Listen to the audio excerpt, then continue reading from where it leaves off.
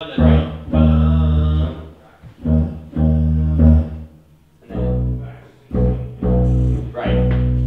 I'm into that. See it get full. Are we starting first verse? Brad Jackson. Se- second verse.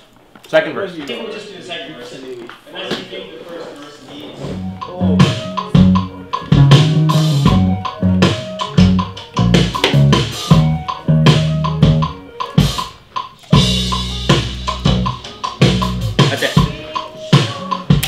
Sexy. Love that legato note too.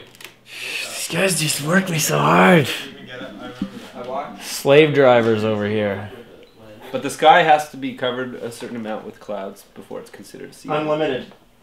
Wow. Oh, perfect. It's a good recording day, that's for sure. Yeah, minus one ninety. So we can do whatever we want right now.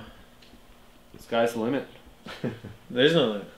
Ba-doom. Can air it out here, or do you want to just go do what? I think I think Michael should go do what he does, a couple takes, and then we should maybe discuss it.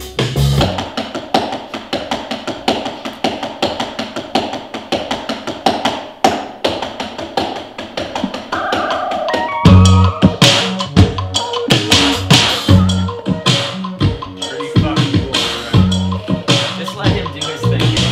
It's gonna fucking groovy.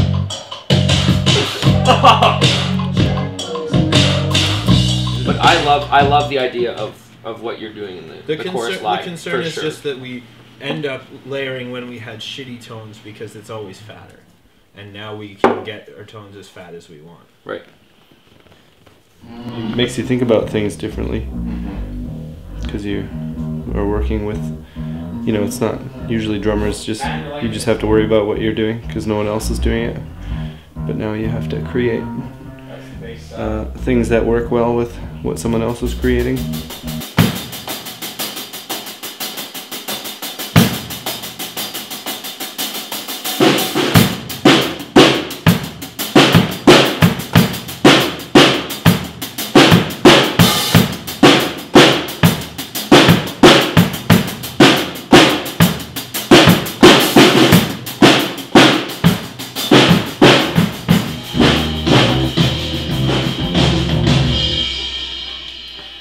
I thought that was a more consistent tone wise performance. sounded good.